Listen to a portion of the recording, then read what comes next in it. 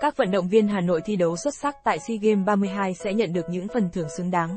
Tại SEA Games 32, các vận động viên của Hà Nội đã đóng góp đáng kể vào thành công của đoàn thể thao Việt Nam, khi gặt hái khoảng 30% tổng số huy chương mà toàn đoàn giành được. Cụ thể, đoàn thể thao Việt Nam đã giành 136 huy chương, 105 huy chương bạc và 118 huy chương đồng. Trong đó, các vận động viên Hà Nội đóng góp 40 huy chương, 27 huy chương bạc, 32 huy chương đồng. Ở các môn trong nội dung thi đấu có trong chương trình của ASEAN và Olympic như vật, đua thuyền, đấu kiếm, thể dục dụng cụ, cử tạ, của su, taekwondo, các vận động viên Hà Nội đã thi đấu tương đối thành công. Trần Mai Ngọc và Đinh Anh Hoàng xuất sắc giành huy chương môn bóng bàn. Nổi trội trong số các vận động viên Hà Nội được huy chương có Đinh Phương Thành, thể dục dụng cụ, với chiến thắng vang dội ở 5 kỳ SEA Games liên tiếp. Ngọc nữ, Ủ Su Dương Thúy Vi cũng thi đấu thành công ở nội dung kiếm thuật và thương thuật nữ.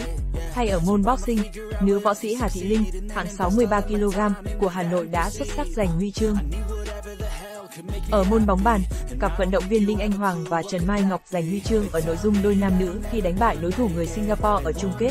Đây cũng là chiến thắng lịch sử của bóng bàn Việt Nam khi đánh bại một cường quốc bóng bàn như Singapore để lên ngôi vô địch. Với màn thể hiện tốt tại SEA Games 32, các vận động viên Hà Nội nhận được phần thưởng xứng đáng. Cụ thể, mỗi vận động viên giành huy chương sẽ nhận 55 triệu đồng tiền thưởng.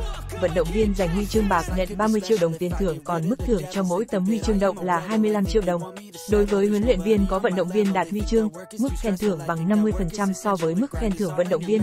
Như vậy, tổng số tiền thưởng của các vận động viên Hà Nội dự kiến là 3,81 tỷ đồng, chưa kể khoản tiền thưởng từ các nguồn xã hội hóa hay nhà tài trợ.